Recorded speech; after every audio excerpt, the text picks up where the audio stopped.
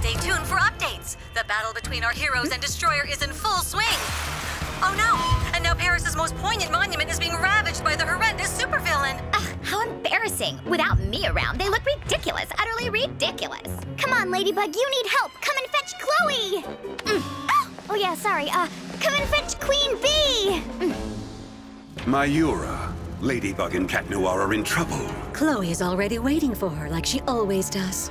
Perfect. Be ready in case Ladybug goes and hands her the Bee Miraculous. But Ladybug calls her Lucky Charm and gets a rubber duck? What is she gonna do with that? While Cat Noir, Rena Rouge, and Carapace... Come on, what are you waiting for? You need me. Okay, of course. That's brilliant. And Ladybug pulls it off yet again. She's defeated Destroyer with the help of all her superhero friends. All? All? What about Queen Bee? Oh, that's really not cool.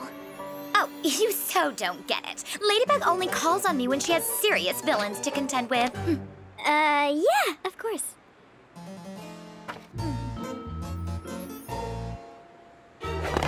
Blaze, show off! Trixx, let's rest. And don't forget, nobody can ever know our secret identities. Except us, of course. Thank you. See you again next time.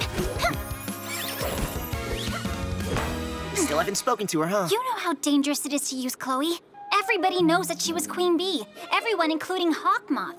He could use it to trap us. That's why our identities must remain a secret. And the best kept secrets are the ones you don't share. Yeah, yeah, I know. I don't think Chloe knows that her time as Queen Bee is over, though. I know. I just haven't had time to tell her, and...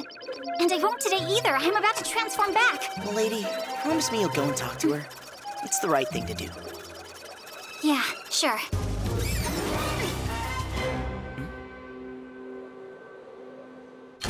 Chloe Bourgeois must become Queen Bee again. Are you still considering making her an ally? I'm afraid Ladybug has grown reluctant to giving Chloe the Bee Miraculous. She's being very careful. Then I will get Chloe to force Ladybug to give it to her. All I need is for her to lose all hope in Ladybug, to become angry enough so I can akumatize her. Maybe it's time we bring Lila Rossi's psychological talents into the plan. Excellent idea, Natalie.